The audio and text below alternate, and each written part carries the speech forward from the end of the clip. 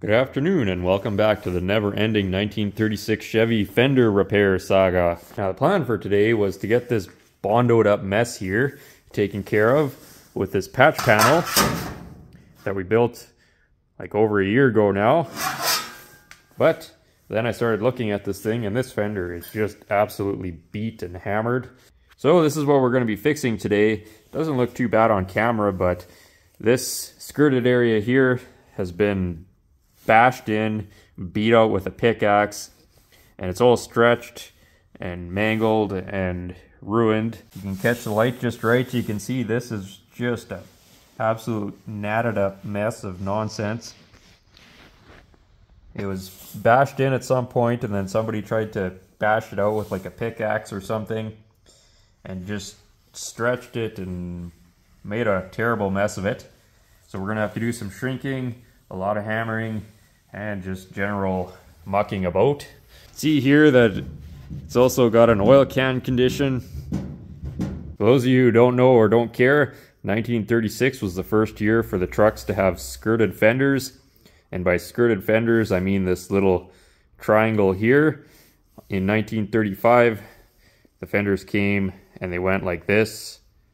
So this area all here was all open still.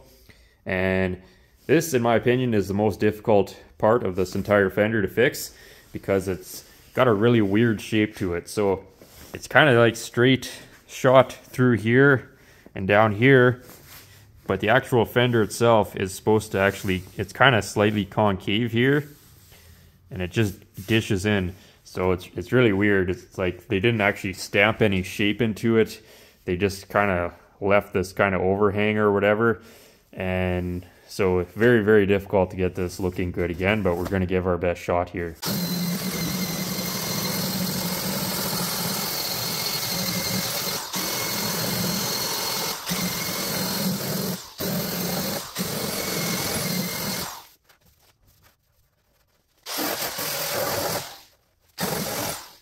Just using one of these 3M fiber wheel thingies to strip off the old paint and rust.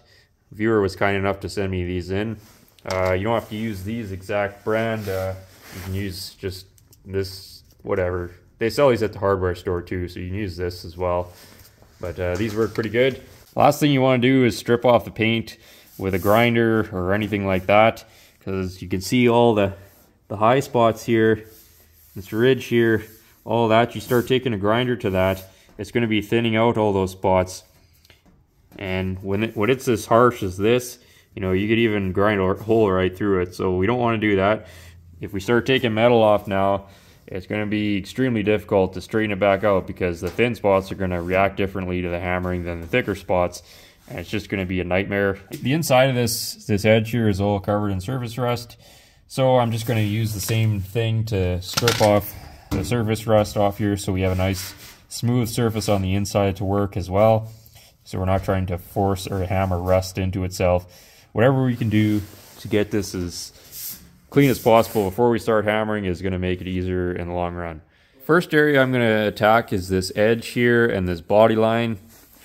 I already did previously do some straightening work just so we could get this fender prepped enough to build the patch for it, but it's still pretty pretty harsh and um, it's a little wobbly here still. Um, there's only so much I can do because there is a a wire edge that's actually rolled into the fender all along here. So I don't have full access to get in there. So we'll, we will end up probably having to do some lead work on here. Not in this video, but in the future to get this, you know, dialed in all the way. But we can certainly get it a little bit closer.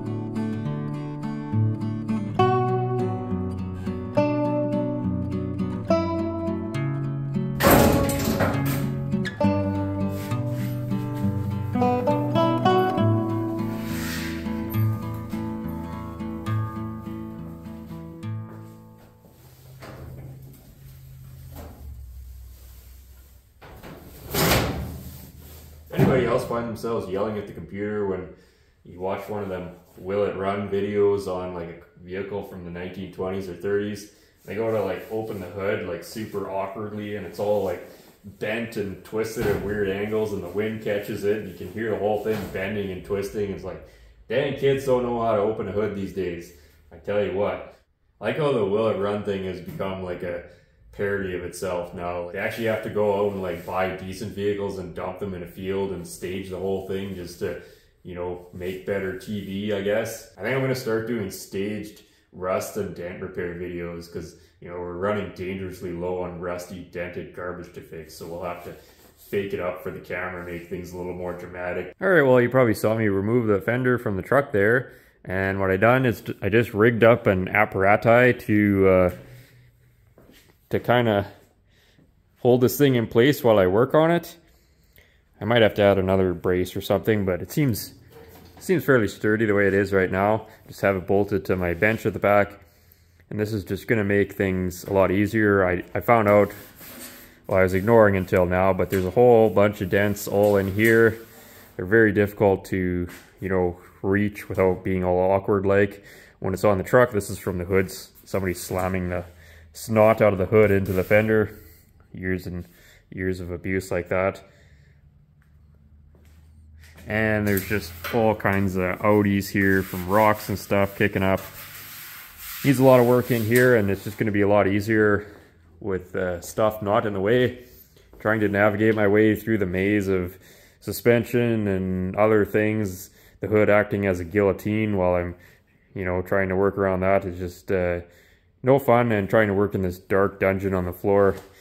A big part of this, I think, is actually being able to be comfortable while you're working on stuff. Uh, if you're not comfortable, then you just want to rush through it. And if you rush through it, then you make mistakes and the final product uh, doesn't turn out as nice as you'd hope. So, yeah.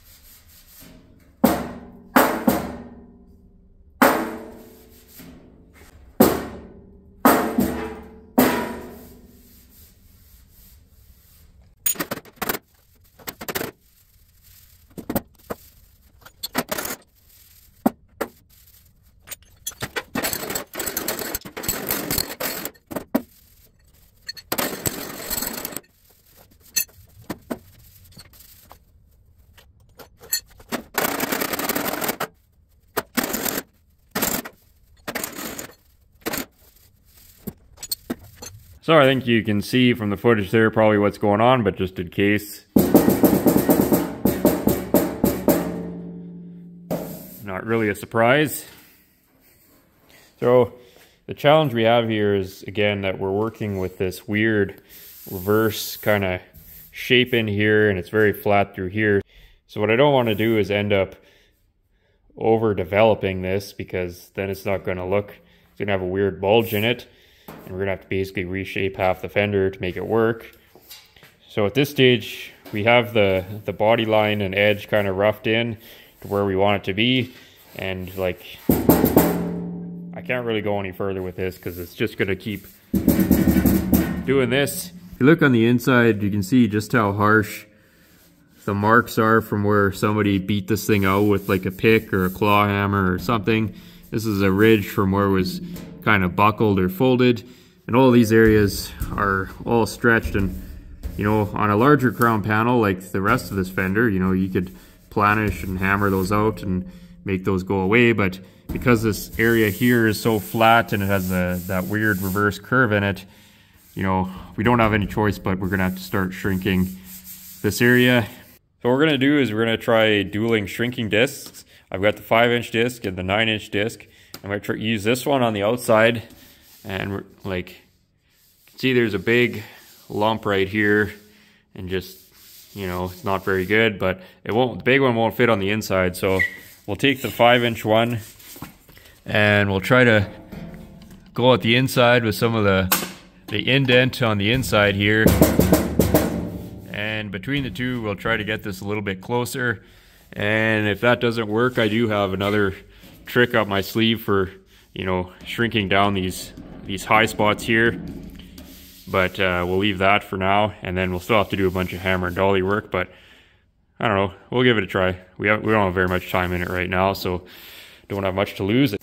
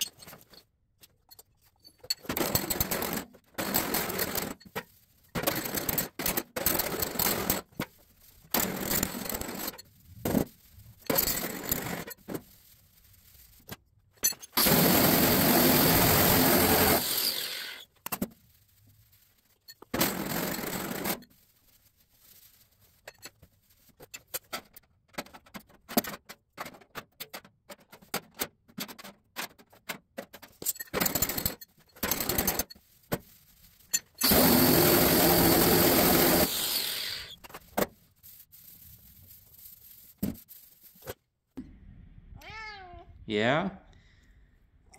You tell him.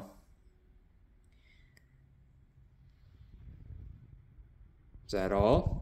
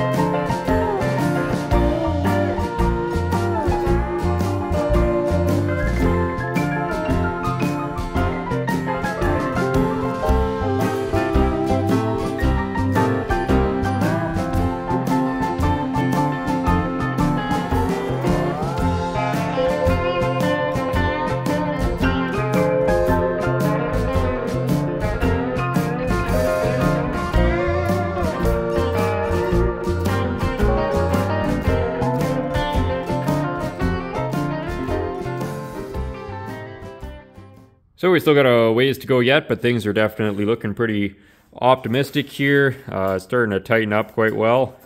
There's no more oil canniness in it, but it's just a lot of little going back and forth. We don't want to go too far in any one motion because it's going to be very hard to go backwards and, and correct that. So just a little of this, a little of that, a little planishing, a little moving metal around, hammer off dolly and whatever, pushing it the high spots and whatever around, run over with a shrink disc, you know, work it some more and just back and forth, back and forth. It's a really challenging area. I think I already mentioned that, but like I said, it doesn't really show up, but like the fender, it's more or less straight on the wheel arch side, but as it comes up towards the top here, it actually curves in. So it has a weird a weird thing going on here where it's like a reverse into a straight. And I'm pretty sure um, at the factory when they stamped this, there was never actually really any shape stamped in this area. It was just allowed to do, you know, whatever it was wanted to do, I guess. And then they put the bead in after, I believe. And it was just, that was it because I've seen pictures of these trucks like back in the day when they were new and, and even in the black and white you can tell this area is all choppy and wavy and when I repaired the uh, the driver side fender there wasn't actually even any damage here but I still had to go back and do a bunch of planishing a bunch of hammer and dolly work to get the waves out of it because it was just it was just a weird thing going on so we're trying to do that here and as well as work out the damage like I think a lot of it has has gone away now. We got a lot of the nasty wrinkles and stuff out of it, but they're still, you know, just trying to get these shapes blended together. I think I found another, this is probably a dent here that we missed, so we got to get that sorted out and just, uh, yeah, just patience is the key here. There's no secret magical tool that will make this all go away. It's just a lot of patience and a lot of reading the panel a little at a time.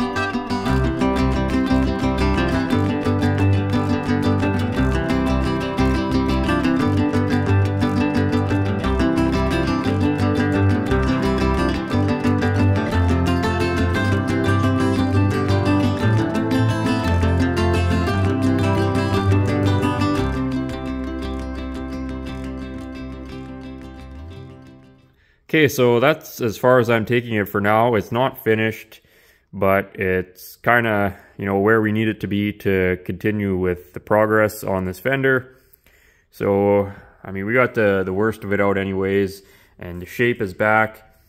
You know, it's not all barked up as bad as it was. There's still some dibbles and gibbles that we gotta get out eventually, but for now, you know, we're not gonna finish it right out because as I said, um, I do have to come in here and do a little bit of lead work in this area just because this was so smashed up and the, that wire in there, it's not allowing me to get this back all the way.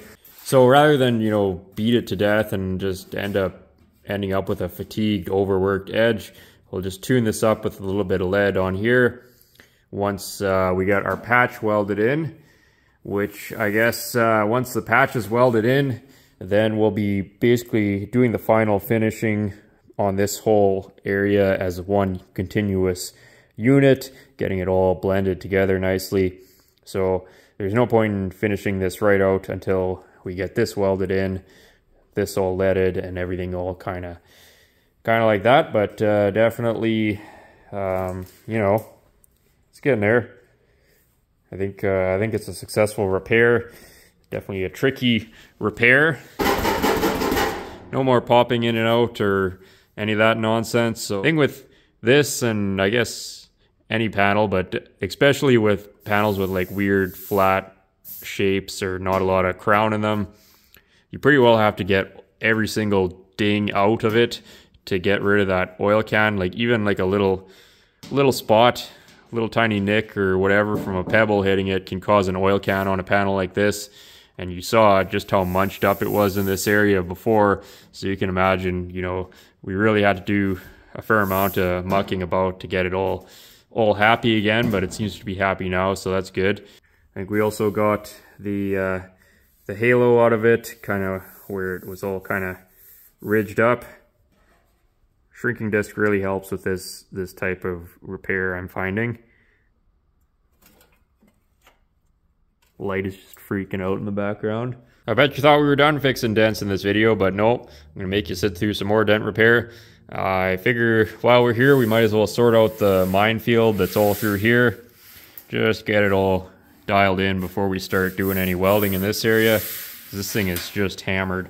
It's kind of hard to see right now, so I'll try running over with some sandpaper just to show you what's going on.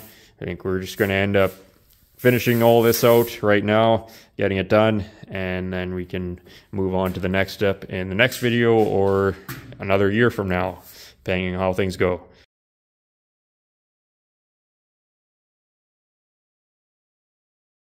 Oh, this was definitely a little worse than I remember it being, but uh, there it is. We got uh, all kinds of fun stuff. This thing's, it's been around the block in its day, I think.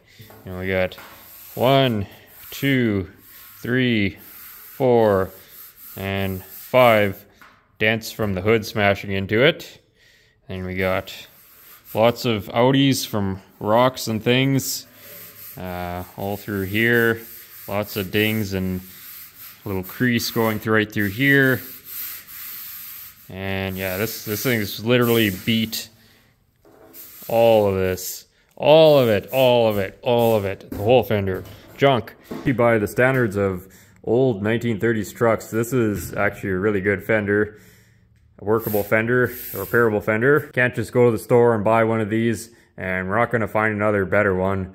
because They simply just no longer exist. One year only, yeah, ain't gonna happen. So we're stuck fixing junk, but this is just to show you, you know, with these, these fenders, there's never just one ding or one crack that has to be fixed. You're gonna be working the whole fender, whether you want to or not.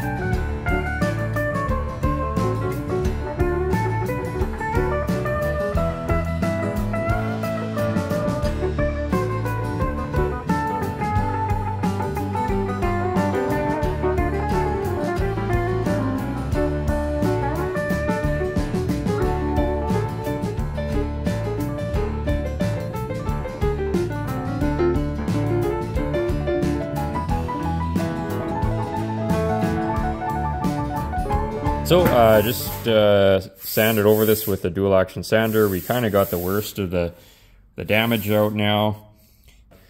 Now uh, I guess we could start mixing up our product, applying that, but uh, there I don't really have anything else to do this afternoon. So we're gonna waste some more time. So we just got out uh, Mr. File here. Hello, Mr. File. Oh, hello, Kyle. This is a body file. Seen this before. And I have this adjustable handle here, which I can adjust it so it's actually curved, which works really good on these curved panels. And that's just gonna highlight uh, any remaining problem areas and then we can continue to bump it up and kind of correct that at this point. You know, before we start on the file, we should get this as close as we possibly can. That way we're not doing any unnecessary filing. And all we're doing with this, just kind of scratching up the surface to see where it's at. And then we can continue to correct it from there on in.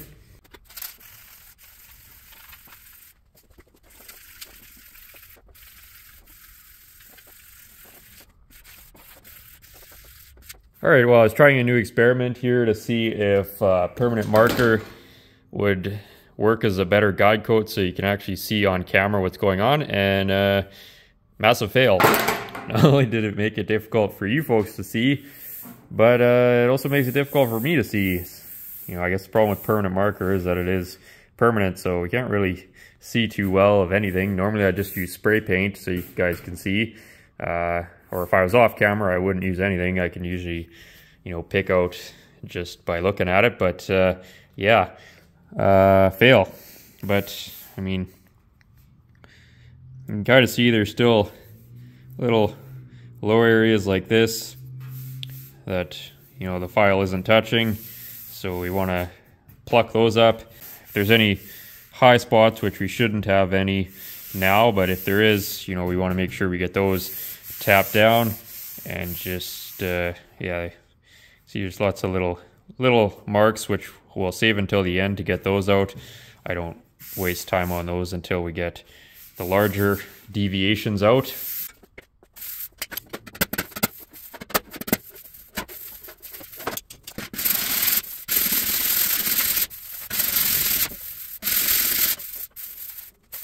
So I crisscrossed applesauced it with the file both directions, kind of just, uh, and the file's touching everything, but uh, because there was a lot of sharp, really sharp dents in this, sharp dents and creases, you know, we're still left with these little spots like this and like that. And so what I don't want to do is use the blunt tip on that because then it's just going to create a, a mountain and we don't want to create mountains. We just want to gently raise up these little low areas here. So I switched over to the uh, lobotomizer on our bullseye pick. I only use this as like for the very final finishing and I try to use it very sparingly. I'm only using this to bring the surface up to level. I don't want to create a mountain. That's the last thing I want to do, a mountain or pyramid or whatever you want to call it. Is uh, if we start doing that and we hit that with a file, we're going to start damaging the metal. And that's not the the point of all this. We're just trying to bring all the metal up to a level plane.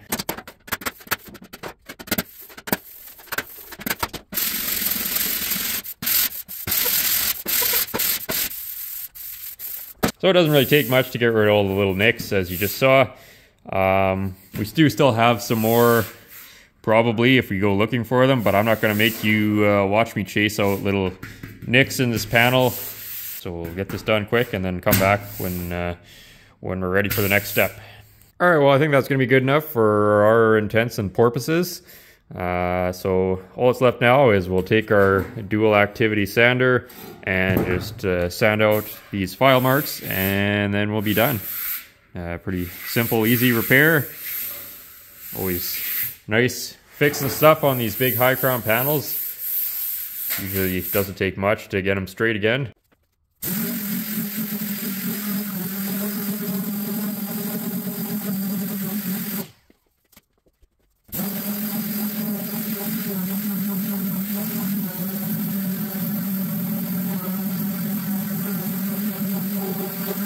That's as I'm taking this repair. Certainly good enough for the truck it's going on.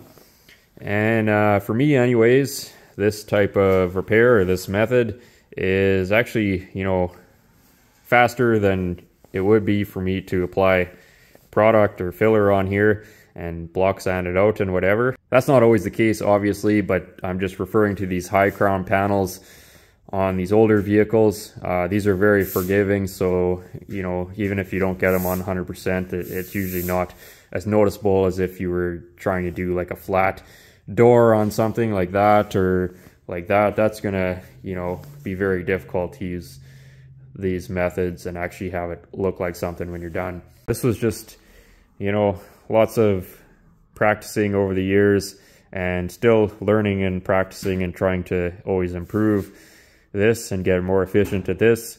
And I think it's also cheaper, as I've mentioned in the past. I think we used a couple pieces of sandpaper and that's about all this cost us. As I've said in the past, the time invested in something is kind of irrelevant as long as you're you're learning and and whatever and you're getting things done. This actually took less time than I thought. That's not always the case.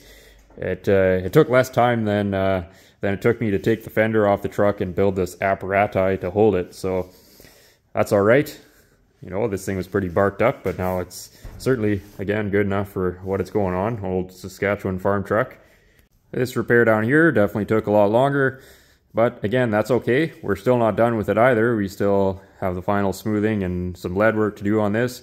But again, that's fine. Uh, to me, some people always ask, like, why don't you just cut it out and replace it?